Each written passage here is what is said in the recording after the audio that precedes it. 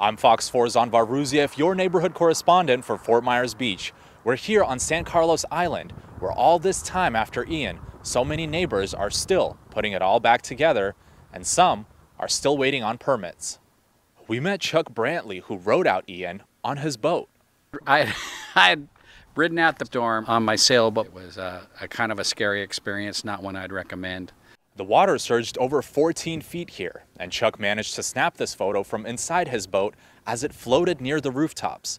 Since then, Brantley has been working to rebuild his home, which is just now getting close to done. But not all the neighbors here had the same timely recovery. We're like 98% done. Life's starting to come back to normal. Back to normal. You mean the new normal? um, I'm hoping at least um, it'll happen within the six months. That's my prayer. Neighbors say that securing the permits has been the toughest part as of late. I can't do anything until the building permit is approved. Even once the permits are approved, the meter is running as the costs add up. I had to pay for a, a temporary RV permit. I had to pay for a temporary electric permit. I had to pay to uh, permit for my demolition. I had to pay to have them come out and check it, inspect it. It's it, and these are just starting. I haven't even started. Apart from the permitting, the neighbors here also tell me that they've been engaging with FPL to try and bring streetlights back to their neighborhood, which, as you can see, is quite dark.